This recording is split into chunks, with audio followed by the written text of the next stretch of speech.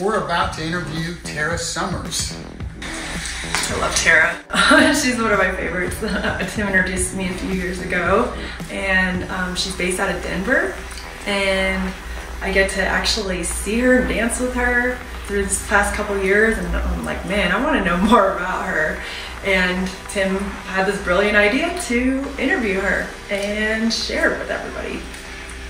And Terra is just an awesome all-star West Coast swing dancer. If you live in Colorado and you love West Coast swing, you're probably going to know about Terra Summers. She travels all over the state. She's kind of like an apostle for West Coast swing, and we really feel blessed to have her. So I hope you enjoy your interview uh, with Terra Summers.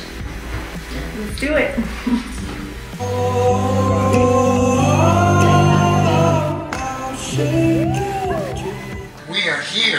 here, Terra Summers, in Colorado Springs. Thanks for having me. How did you get started in West Coast swing? So I think I had a pretty typical story uh, to a lot of people where I kind of stumbled across West Coast swing in the country bars. So I was big into line dancing and country dancing, but I met someone there who was like, "Hey, do you know how to West Coast swing?" And I was like, "Yeah, I can follow anything. I got this." And then gets me out on the floor and he's leading me around, and I was like, "I have no idea what you are doing." and so he invited me to my very first West Coast swing lesson Oh, okay. at the Stampede, and that was, and I fell in love first wow. class. That- That was late 2009, Oh. I would say, or mid 2009. Yeah, from that point on, did you have any particular teachers or mentors that you looked up to or followed or whatever? I mean, when I first started, um, I was working with Pat and Kevin Whiteley, who were the ones that were teaching at the Stampede at the time. So they were my first teachers. I was there every week taking group classes. Um, and then I think my very first private lesson was with just one of the local all stars here in town. Um, but when I really started traveling and like getting into competitions and stuff, um, people I looked up to and worked with were like Jennifer DeLuca. Um, but I, I think she was the one I idolized the most. I liked her style and I was like, I want to be like her. Um, but I definitely took from a lot of people. So locally, working with the Spikas, Trevor and Chelsea Spika a lot. Um, and I just wanted to get a lot of different opinions and perspectives. So I would just, when I would travel, I'd take a lesson from a lot of different people, which could have been good and could have been bad in my journey, I guess. Like sometimes, if you have a little more focus and direction, that can be good. But maybe this also opened my eyes to all the different Right. perspectives and ideas and You're, um, you're an all-star now, so you had to work your way up. did. And what was that like? I mean, where did you start? Um, I think Janet was curious about was it hard to build those points? And Sure. This is super hard, I feel like, for everybody I know. It's very including hard. myself. So I, I do feel I had a slight advantage in a few ways. Um, thinking that I started 12 plus years ago, the community was a lot smaller and events were a lot smaller. So the comp there wasn't as much competition, I suppose, in the way of like if you travel to an event now. Um, there was also, so I mean, I was traveling probably once I got into it every other month. So it was a lot of traveling. And that was just you going as a hobby to go to these Yeah, competitions. I just I fell in love with it, and I, you know, found I found a really nice group of friends that we all traveled together. We would just like pick up and drive to Palm Springs or drive to Nice. Vegas and drive to Texas or somewhere. We drove to Oklahoma randomly, a ten hour drive just to get to events whenever we could. Um, the point system was also different then, so. Um, and I, I don't necessarily remember, but I know the points have shifted. And then, so I accelerated pretty quickly through novice, intermediate, and then I felt like I hung out and advanced a little while longer. That one was more challenging, and I was also traveling less. Um, and then once I made it to All Star, I really stopped traveling. Um, life just changed. And then once I had a kid, life changed even more. So I definitely don't travel as much anymore. so that's like Jack and Jill journey. uh, I and know Jill you journey. did a you did a routine with um, Jonathan too. In the, what was a that? rising star Rising routine Star. with Jonathan Pritchard. um, we, I think we only put it on the floor like two or three times. Um, we went to like um, City of Angels. We did it here in Denver a couple of times. Um, and then he he went through life changes where like he had a kid and took on swing time and just had too much to put into a routine. So we kind of had to put that on the back burner. And then it was my turn to have a kid, so it just never came back to routine, um, which is definitely a goal of mine. Like I love choreography and I love doing routines and performing. So I would love to find a partner one day again and try and do that.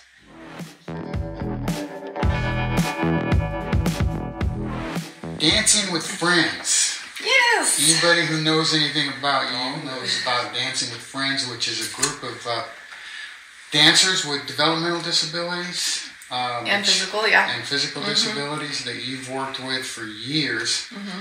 Um, I think 5280 uh, was one of the debuts. Oh my gosh. Yes. Uh, and, it was, and it was huge, wasn't it? It was a huge success. It was, it was the very first year 5280 was pointed. So technically it was their second year.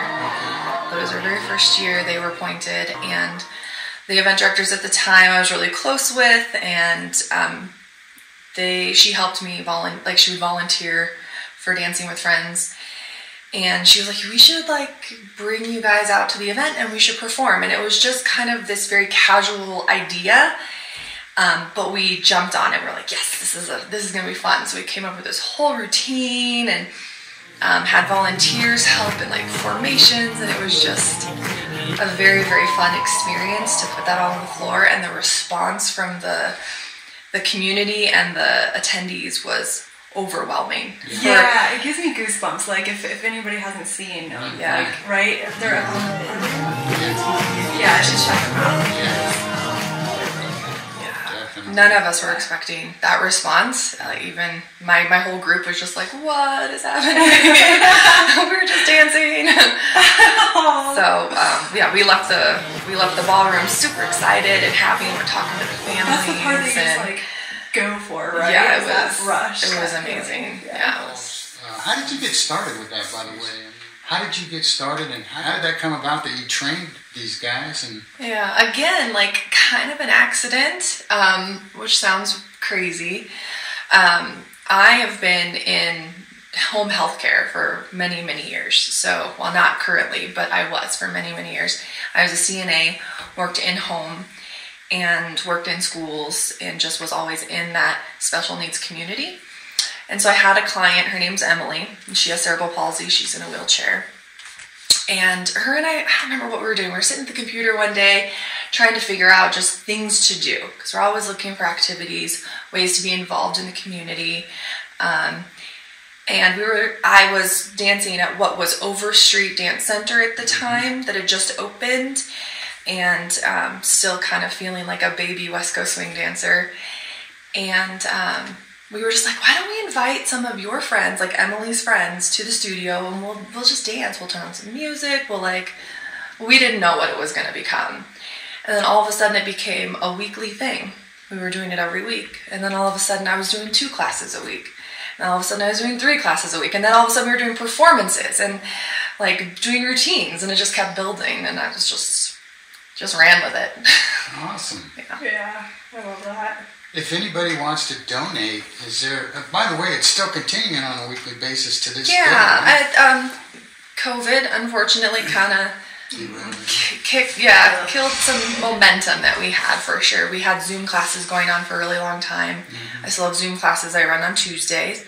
We still have two classes a week, but they're they're small. And I what I miss the most is our performance group. We have not been able to get back together. So, um, but yes, we're still running classes. So we can put some info about how to contact or donate. Sure. Cool. Um, we're always looking for sponsors um, to just sponsor a family or a dancer because not everyone can afford to pay like the drop-in price or a monthly price or something. So um, if you wanted to sponsor a specific kiddo or just like donate um, studio rental space or that's those kind of things your the money would go to. So, so like, what technique or skills or anything like that that you can think of that you had to acquire or finally just get in your body or like work on really hard maybe or maybe it just fell in and you're like oh okay now i get it and all of a sudden it really accelerated your west coast swing and helped you get further um, that's a tough one. Uh, and i don't know if i'll have quite a conventional answer. Um, so i don't feel like there was a specific skill or or specific work that i put in around dance.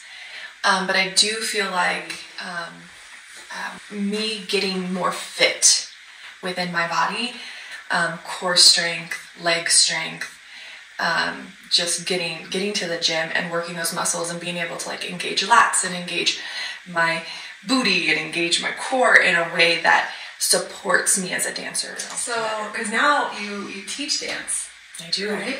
And um, there's certain things that I hold of really high value, and that's one of them is being strong and knowing like in order to really connect correctly and do these things correctly, you do have to be strong. Mm-hmm. You know, particularly in your lats and in your core and in your booty and mm-hmm. like what you were saying, yeah. actually your ankles, things oh, like yeah. that, where. Yeah.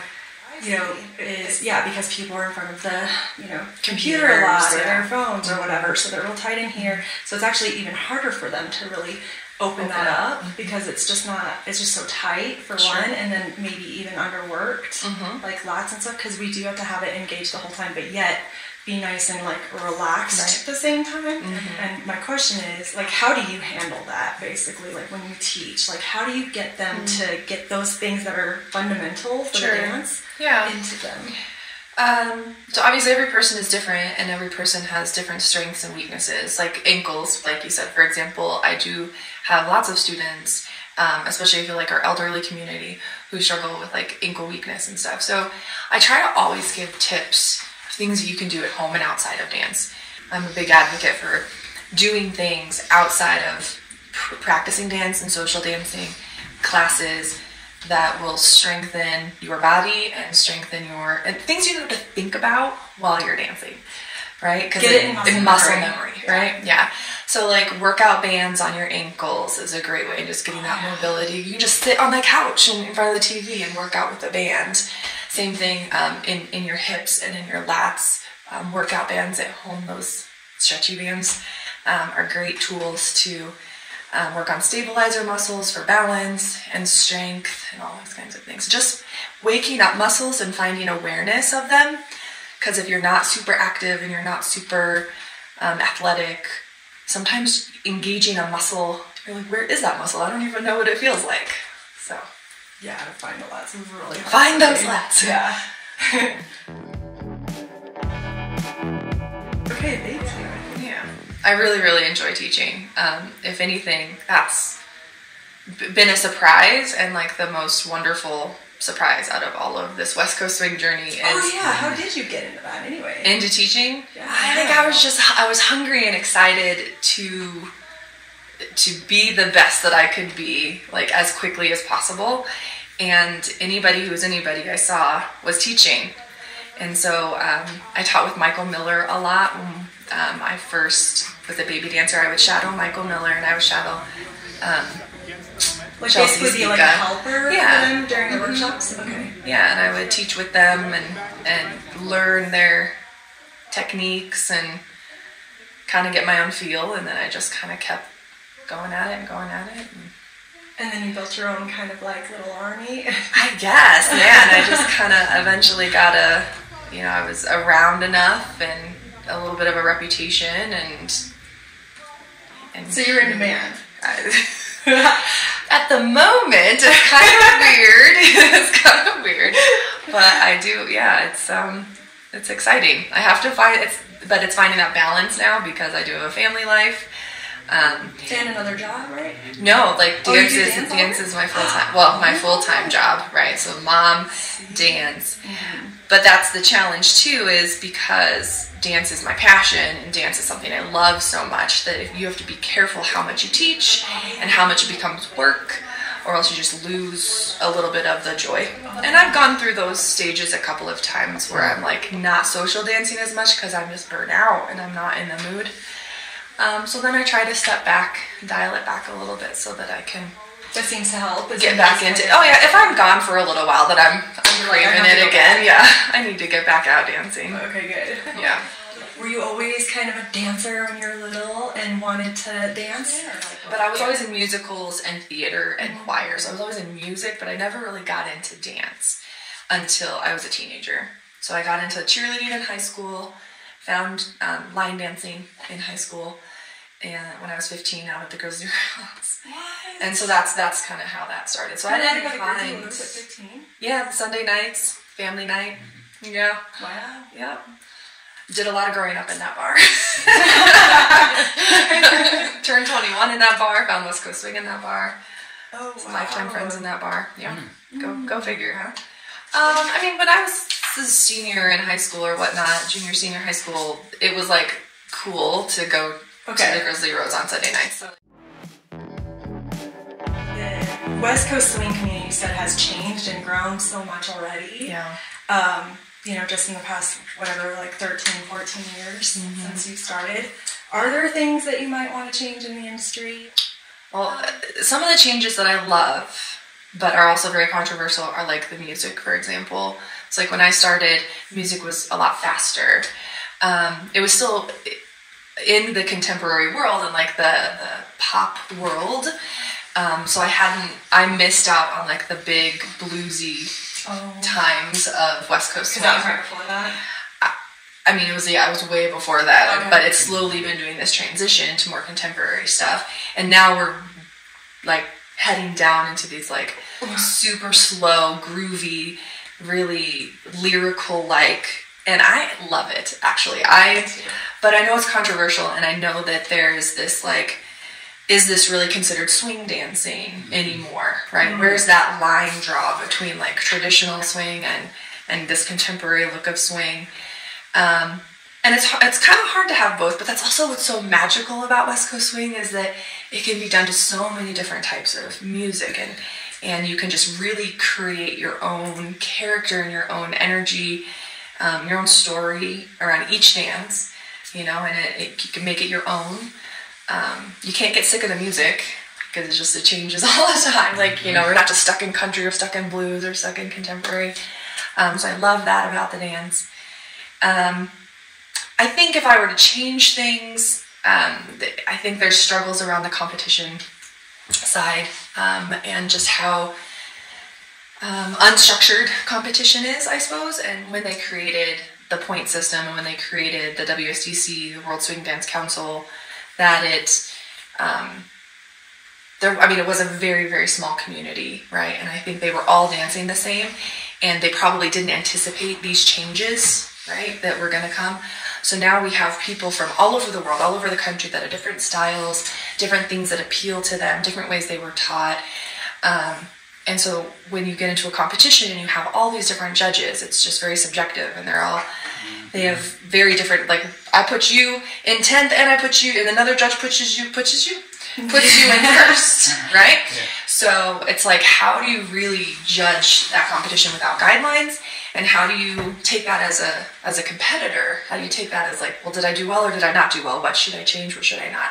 So I know that that's really challenging as a competitor, and you really have to be careful to not take it too hard. Now that these events are so huge, you have hundreds and hundreds of people that you're competing against in one division. You have three seconds to be looked at and judged, and it's just mm-hmm. very.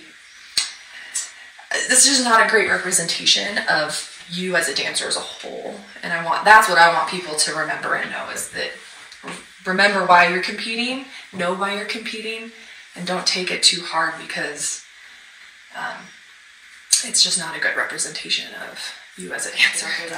It is super subjective. Maybe they need some kind of like training to be like, okay, this is what we think is like that. We all come together and say, Yeah. this is what is correct or standardized or something. I know there's some great people in our community, um, along with I think Robert Royston, that are working, and is it Doug Rozier maybe that's mm-hmm. working to create a more standardized like judging system, and it's exciting. It's an exciting time in our dance to think that maybe we could have a more fair, Just it's more fair, a yeah. more fair judging system.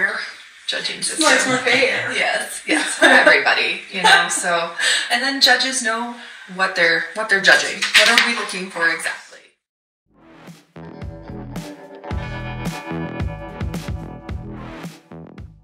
So, is there anything else um, about West Coast Swing, your journey, um, or just uh, Future aspirations. or about anything that you want to say? I'd say be careful, like with your excitement, because West Coast Swing can be so addicting and it can be so fun, and you just want to like go in all in sometimes, and that's what I did, and I, I rushed my journey. I think I rushed my journey, um, and I wish that I had taken more time to be a student versus jumping into I need to be a competitor and a teacher. However, I love teaching and I love where I am now, but I do feel like I did a lot of backtracking in my journey to go back and make sure that I have a better foundation that I kind of skipped past. So I would caution those that maybe catch on really um, quickly, who feel like have that, that natural ability to really take the time to dive in to the basics and that foundation, and to not just like get excited about the moves and the flash and the, the flash in the trash they say right?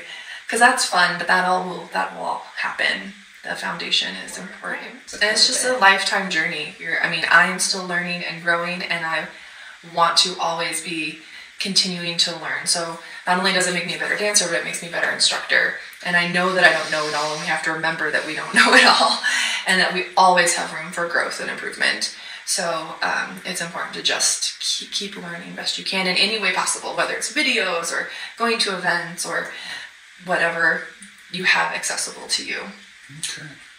Well, thank you, Terra. Thank We you did it! Yay. Now we're gonna shut down. you did great.